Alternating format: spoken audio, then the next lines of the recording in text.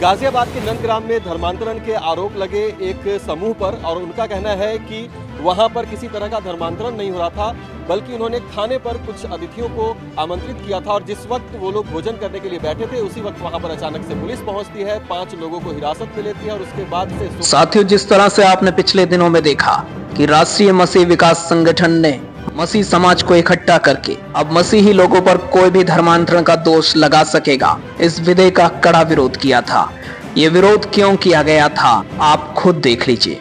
गाजियाबाद के नंदग्राम में धर्मांतरण के आरोप लगे एक समूह पर और उनका कहना है कि वहाँ पर किसी तरह का धर्मांतरण नहीं हो रहा था, बल्कि उन्होंने खाने पर कुछ अतिथियों को आमंत्रित किया था और जिस वक्त वो लोग भोजन करने के लिए बैठे थे, उसी वक्त वहाँ पर अचानक से पुलिस पहुँचती है। पाँच लोगों को हिरासत में लेती है और उसके बाद से सोमवार के बाद अभी तक उन लोगों को पुलिस हिरासत में ही रखा गया। साथियों, सोचकर देखिए कि कैसा लगेगा कि जब हम अपने अतिथियों के साथ भोजन कर रहे हैं और अचानक से कोई हमारे घर में घुस जाए और हम पर जो है किसी चीज़ का दोष लगा दे और पुलिस केस भी कर दे।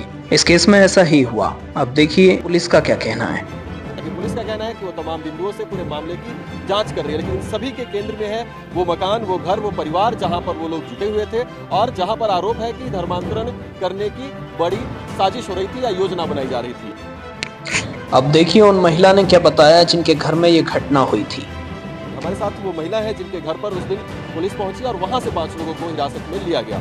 नाम बता दीजिए अपना सबसे पहले।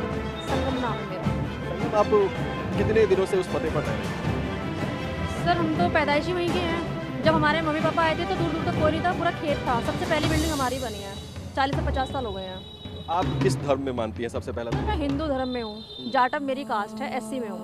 और हिंदू धर्म में हूँ स्टार्टिंग से अब तक। ऐसा कुछ नहीं है कि धर्म परिवर्तन।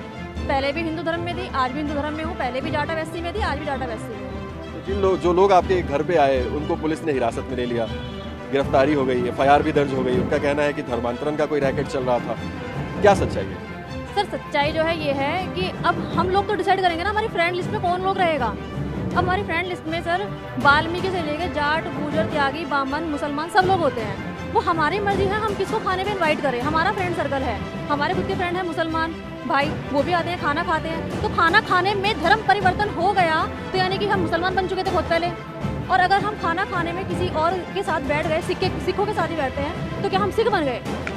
साथियों अगर आप इस बहन की बात से सहमत हैं तो वीडियो को लाइक करें। हमारे साथ वो महिला है जिनके घर पर उस दिन पुलिस पहुँची और वहाँ से पाँच लोगों को हिरासत में लिया गया। नाम बता दीजिए अपना सबसे पहले। संगम, आप कितने दिनों से उस पते पर रह रहे हैं? सर हम तो पैदाइशी वहीं के हैं। जब हमारे मम्मी पापा आए थे तो दूर दूर तक नहीं था पूरा खेत था। सबसे पहली बिल्डिंग हमारी बनी है। चालीस से पचास साल हो गए हैं। आप किस धर्म में मानती हैं सबसे पहले? मैं हिंदू धर्म में हूँ। जाटअप मेरी कास्ट है में और हिंदू धर्म में हूँ स्टार्टिंग से अब तक। ऐसा कुछ नहीं है कि धर्म परिवर्तन। पहले भी हिंदू धर्म में थी आज भी हिंदू धर्म में हूँ। पहले भी जाटअप वैसी में थी आज भी जाटअप एससी में जिन लोग जो लोग आपके घर पे आए उनको पुलिस ने हिरासत में ले लिया। गिरफ्तारी हो गई एफ़ भी दर्ज हो गई। उनका कहना है कि धर्मांतरण का कोई रैकेट चल रहा था। क्या सच्चाई? सर, सच्चाई जो है ये है कि अब हम लोग तो डिसाइड करेंगे ना, हमारी फ्रेंड लिस्ट में कौन लोग रहेगा? अब हमारी फ्रेंड लिस्ट में सर, वाल्मीकि से लेके जाट, गुजर, त्यागी, बामन, मुसलमान सब लोग होते हैं। वो हमारी मर्ज़ी है, हम किसको खाने पे इनवाइट करें? हमारा फ्रेंड सर्कल है। हमारे खुद के फ्रेंड है मुसलमान। भाई, वो भी आते हैं, खाना खाते हैं। तो खाना खाने में धर्म परिवर्तन हो गया तो यानी कि हम मुसलमान बन चुके थे बहुत पहले।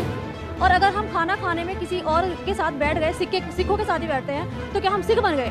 सोमवार शाम को जब पुलिस अचानक से आपके घर पे पहुँची तो उस दिन क्या चल रहा था? वहाँ पे क्या हो रहा सर उस दिन हमने एक आशीष हैं और उनकी वाइफ सोनिया है जो कि हमारे भैया के फ्रेंड सर्कल मेरे खुद के सगे भाई रवि उनके फ्रेंड सर्कल में है। तो उन्होंने बोला कि अरे यार कभी तो अपनी वाइफ को लेके आओ खाने पे।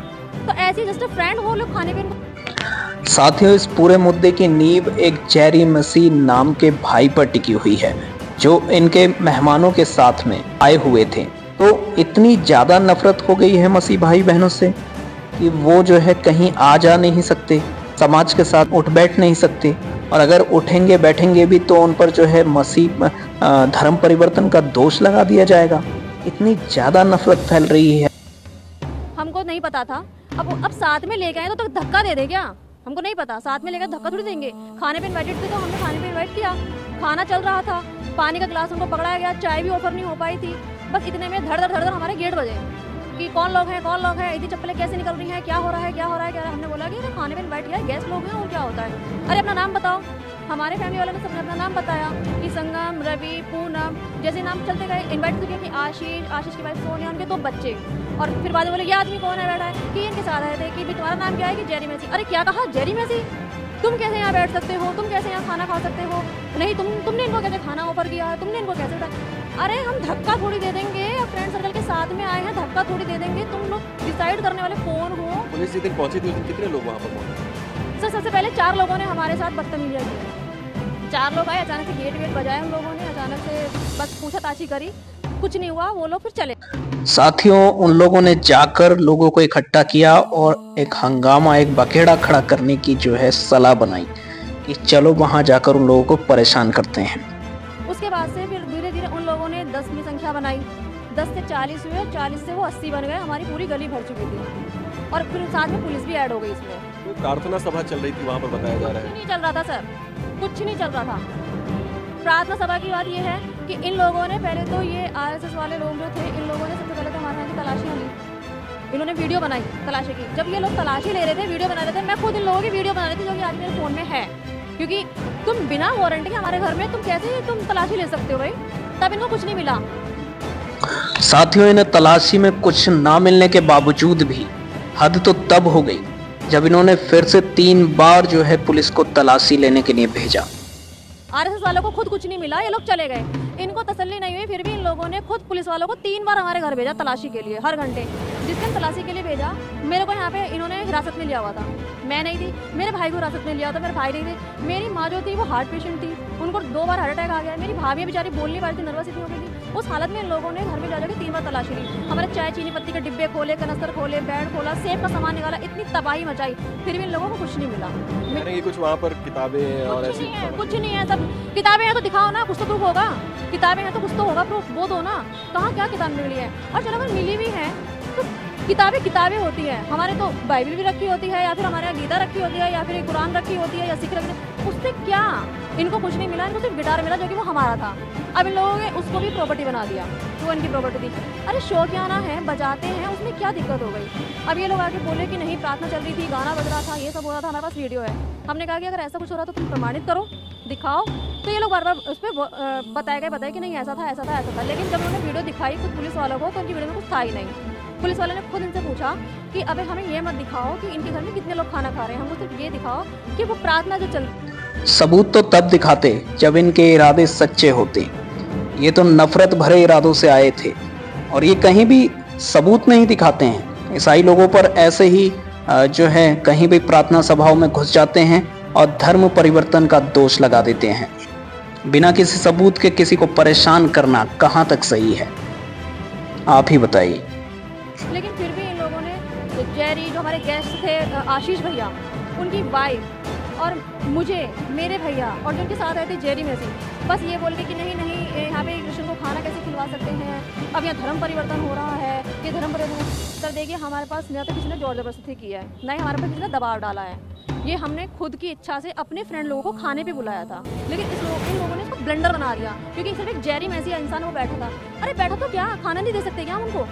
सिर्फ़ इतनी लोगों ने ब्लेंडर ज़्यादा बिल्कुल तो जिनके घर पर उस दिन पुलिस पहुँची और लोगों को हिरासत में लिया गया उनका कहना है कि एक आमंत्रित किया था उन्होंने कुछ मित्रों को भोजन पे और उसके बाद ये सारा बखेड़ा खड़ा हो गया हालाँकि तमाम लोगों के समर्थन में यहाँ पर आप देख सकते हैं कि लोग लगातार जुटे हुए हैं यहाँ पर। उनका कहना है कि जो भी ये चीज़ें चल रही हैं, जो भी प्रक्रिया चल रही है, उसके खिलाफ जो कानूनी कार्रवाई हो रही है, उसको साथियों, देखा आपने किस तरीके से जो है लोगों को परेशान किया जा रहा है, पब्लिक को परेशान किया जा रहा है।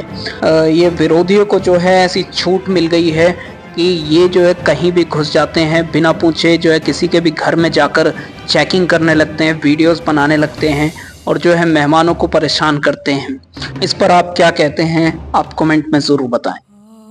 और देखिए, यहाँ पर प्रशासन भी जो है इन लोगों को बंद किए हुए है और प्रशासन क्या कर रहा है उस पर देखिए ये महिला ने क्या कहा।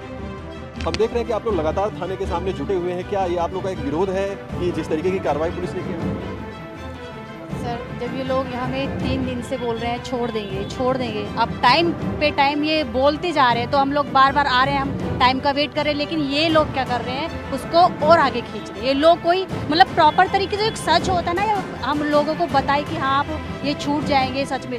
लोग झूठ बोल बोल के, नहीं नहीं, आप परेशान मत होइए, आप सब लोग जाइए। नहीं नहीं, आप ये हो जाएगा, वो हो जाएगा। ऐसे बोल बोल के लोगों को मतलब इस तरीके से कर रहे हैं। और हम लोग परेशान रहे अभी तक इन्होंने नहीं छोड़ा और अभी भी इन्होंने दस बजे का टाइम दिया था, फिर साढ़े ग्यारह का। और अब टाइम देख लीजिएगा क्या टाइम हो रहा अभी भी कोई कार्रवाई नहीं हो रही है। आप देख सकते हैं कि लोगों में एक तरह से गुस्सा भी है इस बात को लेकर कि आखिरकार तीन दिन इस बात को हो गए और तीन दिन होने को है। और तब भी इस तरह की कार्रवाई पुलिस कर रही है। इनका कहना है कि किसी भी तरह का धर्मांतरण रैकेट वहाँ पर नहीं चल रहा था। लोग आपस में मिलते जुलते थे और उसी को मुद्दा बना दिया गया है। साथियों, इस वीडियो पर आपकी क्या राय है, कमेंट में ज़रूर बताएँ। चैनल पर नए हैं तो चैनल को अभी सब्सक्राइब कर लें ताकि हमारी हर वीडियो की अपडेट सबसे पहले आपको मिल सके। धन्यवाद।